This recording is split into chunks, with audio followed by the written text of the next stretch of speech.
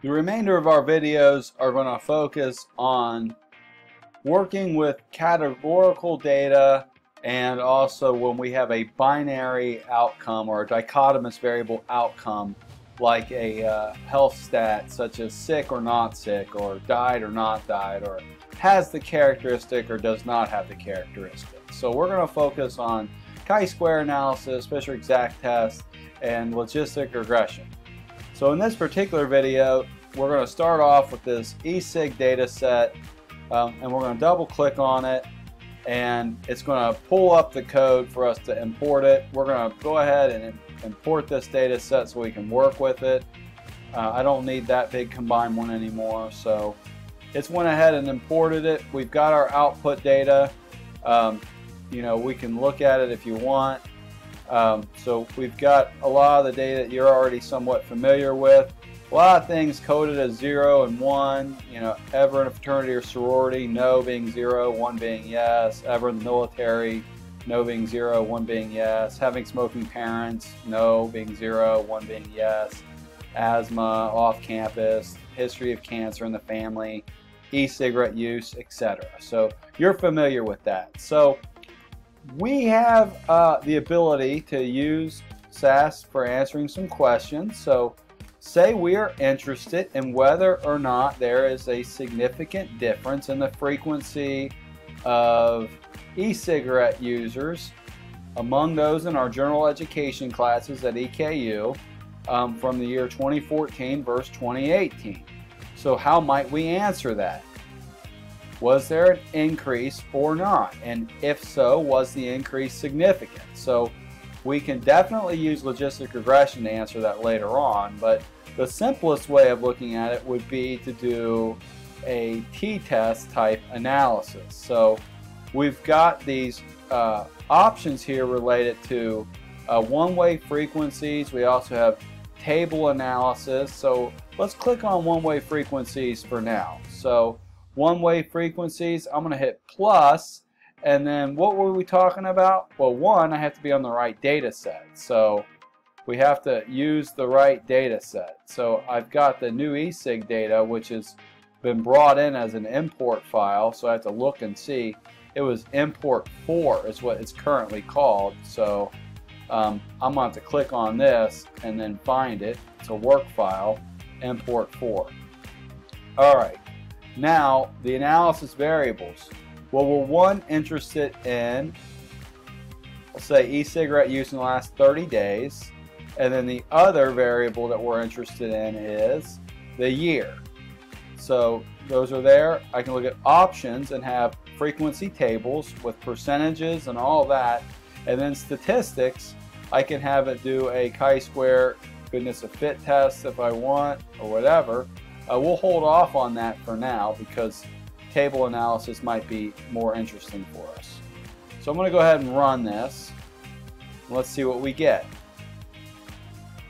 So we get the total e-cigarette frequency for the entire um, group. We get the year. So we've got 773 people in the whole study who had never used e-cigarettes, 234 who have, but we have nothing about which year it is. And then we have 520 people who did our survey in 2014, 526 in 2018. That's really kind of it. So maybe we're interested in something more helpful. So let's look at table analysis. So table analysis, we can have rows and columns. So Rows are things go from left to right, and columns would be the ones from uh, yes and no. And usually columns are associated with disease or a risk factor if that risk factor is your outcome. So we're going to do for our, our rows, we're going to have the year, and then for the columns, we're going to have e-cigarette 30 days. And then for our options, we can put percentage in each cell, which isn't very helpful but percentages in rows and columns may be helpful. And um, I'm going to leave those off. And then we can do various statistics. Chi-square, we can even have it develop an odds ratio for us. Um, the Cochran Mantel Haenszel ones will probably do the same, do something similar, but but uh, odds ratios, chi-square stats. We'll turn on exact test just so you can see it, um, and we'll go ahead and run it. Let's see what we get.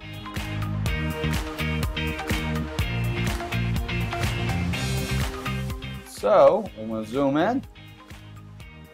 For our table, you know, we've got multiple percentages. The first one is row percentage, going this way, left to right.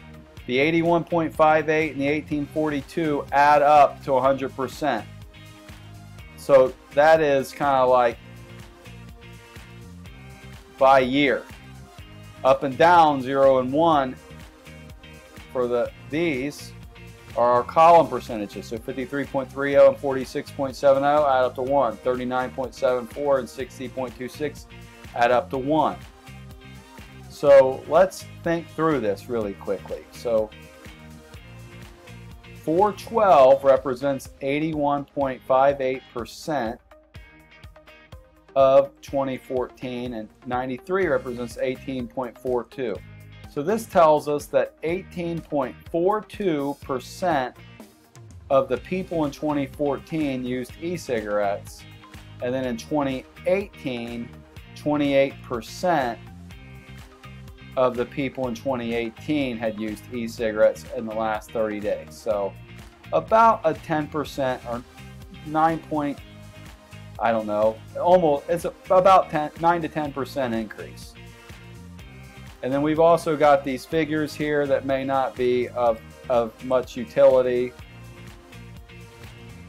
We've now got the various types of tests. There are the traditional chi-square test, continuity adjusted chi-square test as well. All those are about the same. So just chi-square p-value is 0.003. The likelihood ratio one is same thing.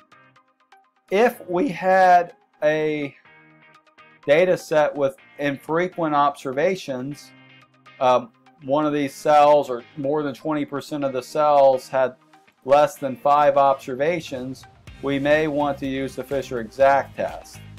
And um, the Fisher exact test probably not appropriate here, but we do see the p-values also indicating significant difference in the usage of e-cigarette by year. We also have the odds ratios that are provided here. Um, and the odds ratios are uh, 1.73 for the estimate with the range going from 1.28 to 2.32. So this is a simple odds ratio. So very easy to do. Um, there are other things we could turn on, but uh, you know, pretty simple approach uh, with SAS Studio for being able to do your 2x2 table. So we could switch this, we could look at a different effect, and I'll let you guys explore that a little bit more. So that's all for this video on the chi-square and Fisher exact test analysis uh, through SAS Studio.